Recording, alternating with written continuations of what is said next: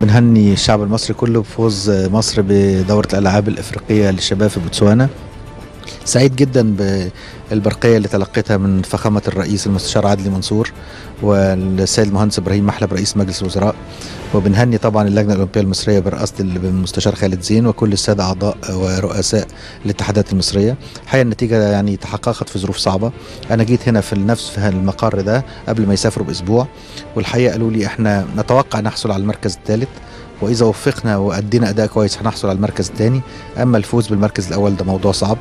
لكن الحقيقة أنا يعني سعيد جدا إن هم كانوا مقدرين تقديرات لكن الولاد بذلت أقصى مجهود. وقدرت تجيب 44 ميدالية وكانت يعني جنوب أفريقيا في المركز الثاني على طول 41 ميدالية. لكن رغم إن جنوب أفريقيا جابت 93 ميدالية وإحنا جبنا 89 وده يوري شكل المنافسة كانت قوية قد إيه. سمعنا كلنا واتنقلت لنا من خلال الصحافة والإعلام وكالات الأنباء الإقامة كانت صعبة جدا في بوتسوانا. لكن الحقيقة البعثة المصرية برئاسة الأستاذ جاسر رياض نائب رئيس اتحاد السلة والأستاذ محمد هارون والعلي بيه حسب الله رئيس اتحاد الريشه الطايرة.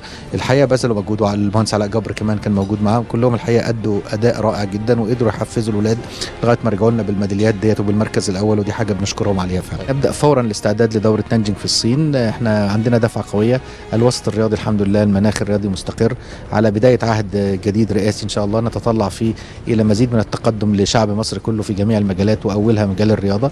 فالحقيقة يعني أنا استأذنت المستشار خالد زين إن إحنا نعقد نعقد جلسة مع في اجتماع اللجنة الأولمبية المحدد ليه من فترة الحقيقة لكن قلت يعني نحضر ونشوف طلبات الاتحادات المصرية إيه عشان دورة نانجينج إن شاء الله. الحكومة المصرية لن تتدخل في عمل الاتحادات إلا في جانب المالي والإداري ثم نشرف بعد كده على الجانب القانوني في طريقة صرف الأموال. أما إننا نتدخل في التفاصيل دي حاجة مش تبعنا ده اتحاد كرة قدم منتخب من جمعيه عموميه وفي لجنة أندية منتخبة أيضا من الأندية وإذا كان هناك صراع بين الأندية أو الاتحاد ده شأن داخلي لهم ولهم كل مطلق الحرية في إن هم يتصرفوا بالشكل اللي هم شايفينه وليس لنا تدخل حكومي السؤال اللي بيتقال طب وليه المهندس خالد دخل في لما كان في موضوع لجنة البث لا ده كان طلب من الحكومة المصرية وتقدمت السيدة الوزيرة بإن هناك مشكلة في البث التلفزيوني وإن هي كانت طرف في الموضوع الحكومة المصرية كانت في طرف في التعاقد مع الاتحاد المصري لكرة القدم في موضوع البث التلفزيوني. يعني في هناك عقد ما بين الحكومة المصرية وما بين اتحاد كرة القدم بخصوص البث التلفزيوني. فطلب مني على على مائدة مجلس وزراء التدخل لحل هذه المشكلة التي بين الحكومة المصرية وبين الاتحاد.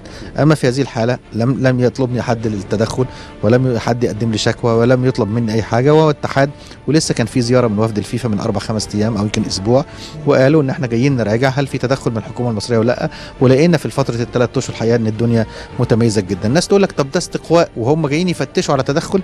يا جماعة لازم نعرف حاجة واحدة الاتحاد المصري لكرة القدم هو فرع من الاتحاد الدولي لكرة القدم. ده فرع من فروعه.